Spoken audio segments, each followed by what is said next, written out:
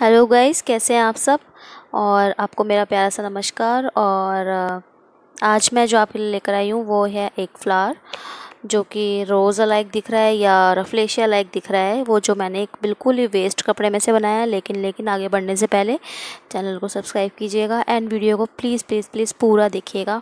और ये देखिए, बहुत सुंदर बनाया है, क्योंकि मैंने ये ट्राई किया और इसमें मैंने जैसे आप भी अगर ऐसे हैं कि मन, जैसे बिल्कुल देखिए कपड़ा कैसा है ये, बिल्कुल अनइवन है, कोई ऐसा नहीं है। इस तरीके से मैंने इसको रख लिया। फिर ये दूसरी कटिंग निकाली तो वो ऐसी थी। फिर एक और लंबी सी कटिंग थी। तो कुछ एक बराबर कुछ नहीं है कि चार इंच चौड़ा होना चाहिए, इतना लंबा होना चाहिए। जैसा भी मुझे मिला है मैंने उसको जोड़ लिया है।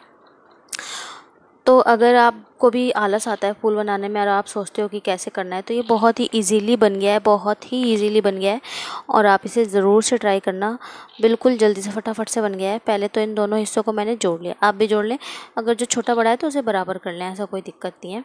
और उसके बाद पीको कर लेनी है इस पर इस तरीके से मैंने पिको कर ली। इसमें बारीक बारीक। पिको को जो साइड सुंदर हो वो हम फ्रंट रख लेंगे। अगर मान लीजिए वैसे तो फ्रंट साइड ही फ्रंट होता है लेकिन कई बार दूसरा। अगर लेंथ में बताऊँ मैं तो ये फिफ्टी सेवन इंच बैठा है दोनों को जोड़ के।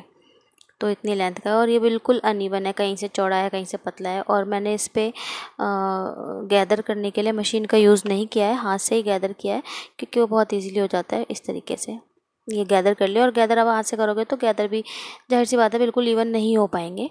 तो कोई उसका भी कोई इशू नहीं है बट कोशिश करनी है बट इसको फिर एक सिरे से पकड़ के मैंने ऐसे खींच लिया, ऐसे करके। तो मैं बनाना तो कुछ और ही चाह रही थी मतलब वही जो टिपिकल फ्लावर्स होते हैं, मगर मैंने देखा कि ये काफ़ी सुंदर लुक दे रहा था इसका।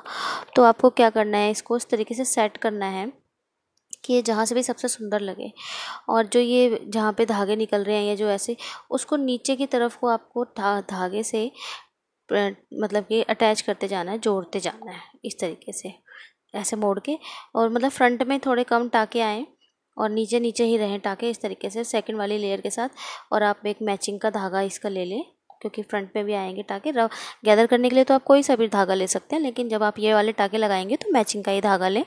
और इस तरीके से इसको अंदर को छुपाते हुए और आप ऊपर नाए टाको और नीचे नीचे की लेयर में इसको छुपाते जाएँ। अगर आप इस पर बड़ा सा स्टोन बीच में लगा रहे हैं तो ऊपर बीच में भी टाके आएँगे तो कोई इशू नहीं है। लेकिन मेरे को स्टोन मिला नहीं है तो मैंने स्टोन नहीं लगाया है, और ये मैंने फिर अपनी बेटी की फ़्रॉक में लगाई है, और ये मैंने जो फ़्रॉक बनाई है, वो भी मैं डालूँगी इसके साथ ही। आगे पीछे जो होगा तो मैं लिंक शेयर कर दूँगी तो आप प्लीज़ उसे भी ज़रूर देखिएगा। तो कहने का मतलब ये है कि ये बहुत ही खूबसूरती से इतनी जल्दी, इतनी ईजीली बन गया है, कि मतलब इसे दो तीन मिनट लगे हैं इसको बनाने में। पिको का जो टाइम है, वो अलग है, लेकिन इसको असेंबल करने में फ़्लावर को दो तीन ही मिनट लगे हैं मुझे मुश्किल से वो भी टाके वाके लगाने में। और देखिए प्लेन फ्रॉक है उसकी, ये अंदर ग्रीन अस्तर मैंने लगा दिया क्योंकि सॉफ्ट और पुराना कपड़ा पड़ा था मेरे पास, वो वैसे भी दिखना नहीं है। आप ये मैं सोचिएगा कि ग्रीन क्यों लगाया है। और इसको फिर मैंने इस पर रख दिया ऐसे प्लेस कर दिया। अभी मैंने इसको टाका नहीं लगाया है। ये मैं दिखाने के लिए आपको बता रही हूँ। तो ये देखिए, इससे कितना सुंदर इसका लुक आ गया फ्रॉक का। और ये फ़्रॉक जो है, मैं इसका लिंक दूँगी आपको। ये बिल्कुल ब्रांडेड फ्रॉक्स की तरह ही है। इसमें सारी कोई भी सेम दिख नहीं रही है। और ये वाला जो टाका था ना, बीच में जो जोड़ था, उसको मैंने इस तरीके से हाइड कर दिया है। फ्रंट में ये बिल्कुल भी जोड़ नहीं आ रहा है।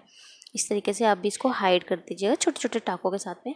और ये देखिए शोल्डर पे ये फ्लावर कितना सुंदर लग रहा है। तो प्लीज़ आप इसको ट्राई कीजिएगा और फ्रॉक भी बनाइएगा। और आगे भी मैं आपके लिए ऐसी हेल्पफुल वीडियोज़ लाती रहूँगी। God bless you keep watching keep subscribing thank you bye